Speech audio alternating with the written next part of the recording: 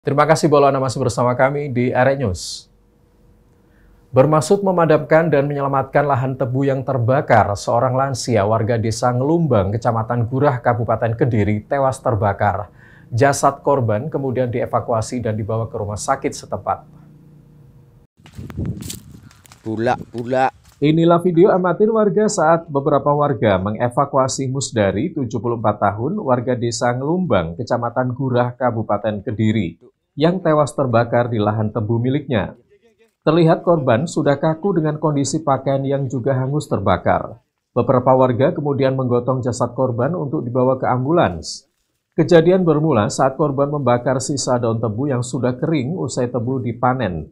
Akan tetapi korban tidak waspada saat api merembet ke lahan tebu yang belum dipanen, sehingga korban berusaha memadamkan api. Usahanya pun sepertinya sia-sia sebab kobaran api semakin membesar dan menjalar ke mana-mana. Akibatnya korban terjebak dan menghirup asap tebal sehingga korban tidak sadarkan diri hingga tewas di lokasi. Imit harus diturunkan, ditindaklanjuti dua unit. Pada saat datang di sana diadakan pemadaman pembersihan, diketemukan salah satu warga pemilik pemilik lahan itu ternyata dia sudah dalam keadaan MD baru diketahui setelah kita adakan pemadaman, pembersihan, informasi yang diterima dari rekan damkar YBS ini membersihkan lahan membakar. Karena tiupan angin kencang akhirnya dengan begitu cepat dia menghirup apa ya namanya asap. Asap tidak sadarkan diri api membesar.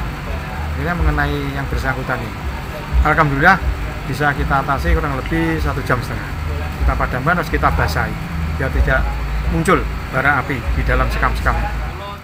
Petugas Satpol PP Kabupaten Kediri mengimbau kepada masyarakat jika ada yang berniat membakar sekam atau daun tebu usai dipanen untuk menghubungi petugas PMK Kabupaten Kediri untuk mengantisipasi agar api tidak merembet ke lahan lainnya.